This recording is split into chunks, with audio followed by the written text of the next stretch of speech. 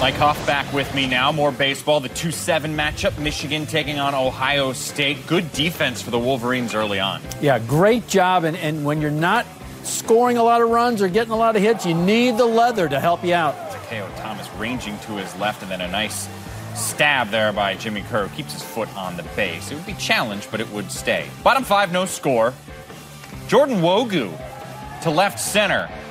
It's a base hit for the sophomore, and that's the first hit of the game for the Michigan Wolverines. And when I say first, I actually mean last. More on that coming up in a sec. Next batter, we got runners on the corners. Jesse Franklin to left field. Brady Cherry's there, but that's pretty deep. That'll score. That was a great job of hitting up in the strike zone. And again, Jesse taking it where it was pitched, up and away, almost took it out of the ballpark in left field. So Wolverines lead early, but here in the sixth, bases are loaded. Nwogu to center.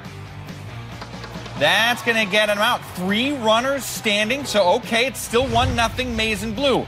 Top eight now. Buckeyes down by one, bases loaded. Karl Kauffmann on the hill. Matt Carpenter to second base. They throw to second. The double play, not in time. Runner scores. We're tied at one.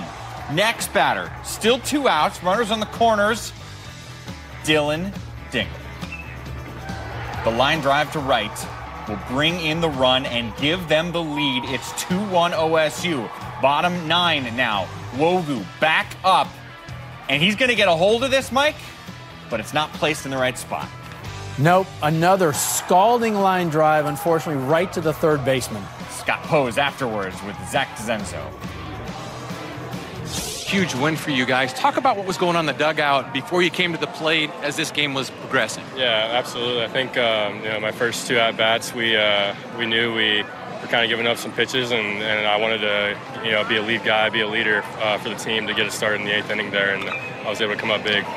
We knew this was a big ball game, and you come up in a key situation, two outs with a potential go-ahead run. Tell us about the approach on that at bat. I was just looking for a fastball. I mean, uh, it was fourth time against the same kid, so I felt like I had a good, um, you know, grasp on what he was going to throw and this kind of sequences he was going to do. So I was able to get the fastball and drive him in. Now, talk about the mindset of the team as you're fighting in a tooth and nail game against Michigan, your arch rival, here to play on. What was the attitude on the bench, and, and does this add a little extra to when you found out who you were playing? I mean, yeah, we always love playing them, but um, just came ready to play. I mean, uh, pitching was absolutely awesome. Defense, even though that air's up there, we played really well. And we were able to control it.